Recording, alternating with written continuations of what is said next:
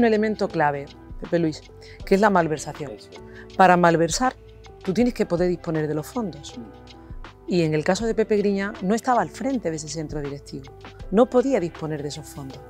Las modificaciones presupuestarias se hicieron en el Parlamento, votados por todos los diputados y diputadas allí presentes.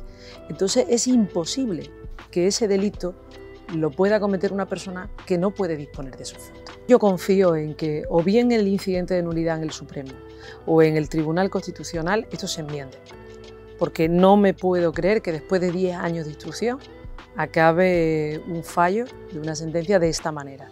Conociendo un fallo un mes y medio antes de la sentencia, si condenan a una persona por algo, habrá que conocer los motivos ¿no?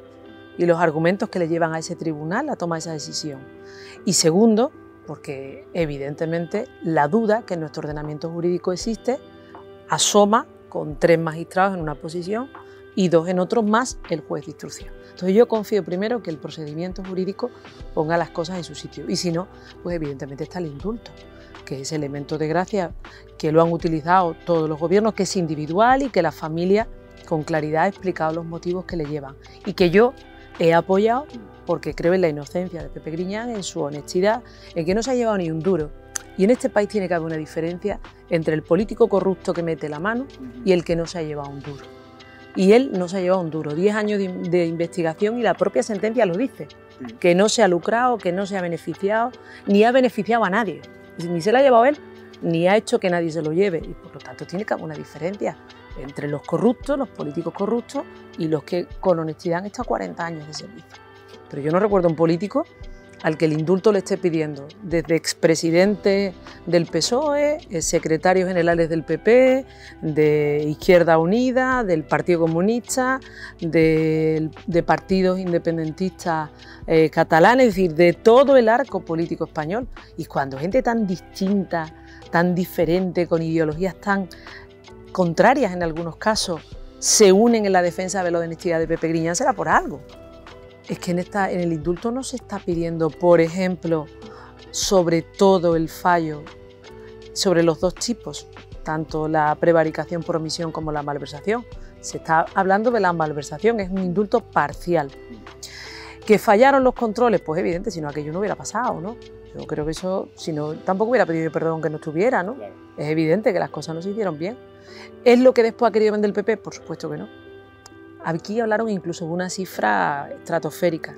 Y yo decía, bueno, si esa es la cifra, entonces hasta Moreno Bonilla está prevaricando, porque está pagando las prejubilaciones, igual que las pagó mi gobierno, y las pagaron todos los gobiernos. Y no es verdad, no está prevaricando. Juanma no está prevaricando. Está haciendo lo que tenía que hacer, pagar las prejubilaciones. Y ese dinero no es un dinero que esté en los ERE, ese dinero está en esos trabajadores que lo merecían.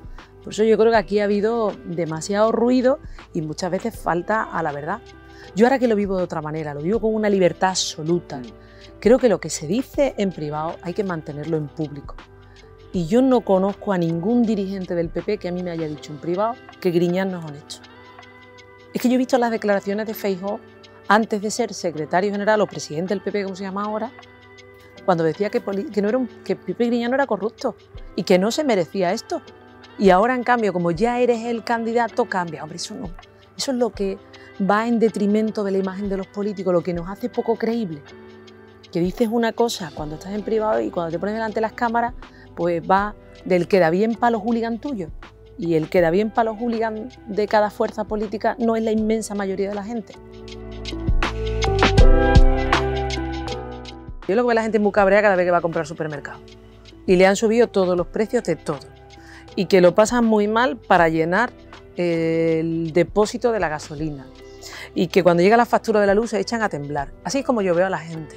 Y que el debate de Andalucía es si las grandes fortunas pagan o no pagan impuestos. Yo hubiera entendido, por ejemplo, como hubieran dicho, venga, vamos a analizar los tramos autonómicos del IRPF y que los trabajadores, los currantes, los autónomos, aliviarlos, paguen menos porque están pagando mucho en el coste de la cesta de la compra. Hubiese sido un debate andaluz pero ahora un debate de las grandes fortunas, pero si las 65 grandes fortunas de este país están todas en Madrid y aquí peleándonos que si que vengan ustedes de Cataluña para acá, no, oiga, no, ayuden a la gente que lo está pasando mal y que no lo están pasando mal solo los que no tienen un empleo, no, no, que tú tienes un empleo hoy y tienes un puesto de trabajo y entra en tu casa tu nómina y llegas al supermercado y te pone de mala leche porque no puedes pagar a 8 euros el kilo de pollo, a 2 euros y medio la docena de huevos y la fruta desquiciada, más la factura de la luz y más la gasolina. Y aquí, en un debate electoral, a ver quién le quita los impuestos a las grandes fortunas en España. Pues yo creo que eso no es la realidad de este país, eso es un debate electoral, que lo habría Ayuso y que ha entrado a Andalucía de costalera, Galicia y dice, yo voy a quitar la mitad. Y Feijo por atrás aplaudiendo, sí, sí, y yo cuando llegue le dice Ayuso, tú cuando llegue quita también más impuestos. Pues eso es lo que veo, que ella va de capataz del PP y aquí los demás arrimando el hombro de costalero. Creo que si el PP se cree que está en campaña se equivoca, la gente no está en campaña, la gente está pasándolo mal y necesita que los políticos se pongan de acuerdo, no que se tiren los trastos a la cabeza, no que monten el circo en las instituciones. No, no, la gente lo que necesita es tener la esperanza de que alguna vez en este país los partidos se pueden poner de acuerdo. Yo creo que eso es lo que necesita la gente hoy, que haya tenido que venir un comisario de justicia europeo a llamarnos el orden por la situación del Consejo General del Poder Judicial no es la mejor imagen de la marca España. ¿eh? Es decir, si somos muy patriotas, pero al final vienen a ponernos la cara colorada por una institución del Estado, me parece que eso no es, no es el mejor síntoma de que la política española esté tomando acuerdos. Yo creo que eso no es bueno.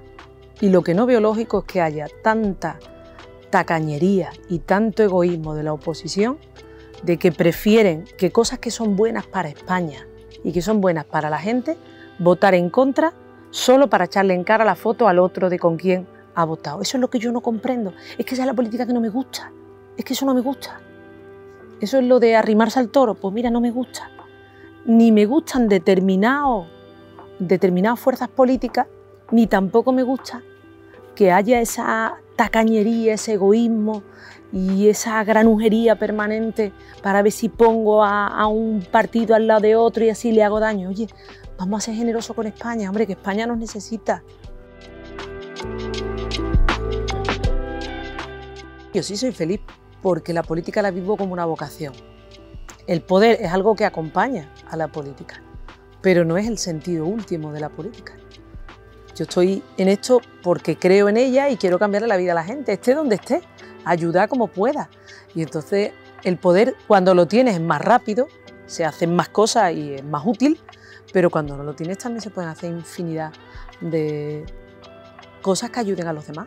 Yo creo que el PSOE está en un proceso de acercamiento con la calle, es lo que tiene que hacer, está muy cerca de la gente, analizar rincón a rincón qué ha pasado y por qué la gente ha votado una cosa u otra o no ha votado y, abrir mucho el partido para que mucha gente ayude, colabore, porque la situación es difícil, muy complicada. Estamos ante la primera mayoría, primera victoria del PP en Andalucía y además con una mayoría absoluta. Entonces creo que todo el mundo tiene que arrimar el hombro y el PSOE andaluz se tiene que abrir mucho a que participe mucha gente para ese proceso de reconstrucción.